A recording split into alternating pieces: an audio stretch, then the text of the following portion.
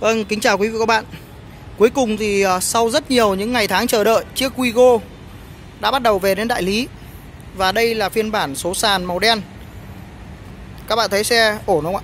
Nước sơn rất là sâu. Một chiếc xe nhập khẩu Có giá bán chỉ 340 triệu.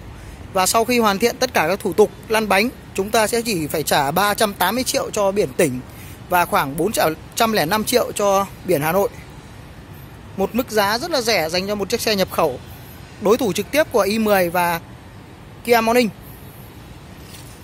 Mời các bạn quan sát tổng thể một chút về chiếc xe này.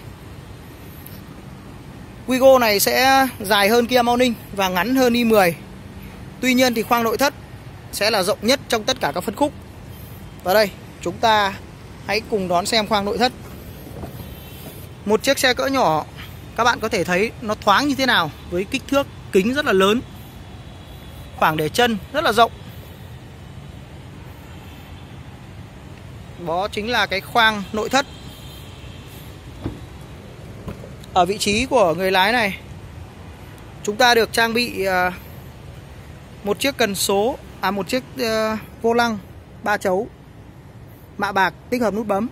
Hệ thống giải trí thì bao gồm à, đài CD một đĩa 4 loa có đầy đủ các cổng kết nối dành cho phiên bản số sàn và trên phiên bản số tự động sẽ là đầu DVD cao cấp.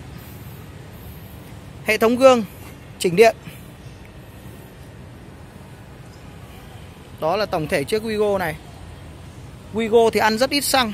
Theo công bố của nhà sản xuất nó chỉ rơi vào khoảng 5,2 lít dành cho đường hỗn hợp và 4,1 lít dành cho đường cao tốc.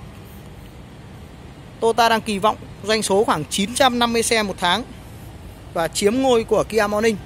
Tôi nghĩ với thiết kế và giá bán như thế này, cộng với ờ, xuất xứ nhập khẩu nguyên chiếc, chắc chắn là Toyota Wigo sẽ sớm đạt được những cái con số như vậy.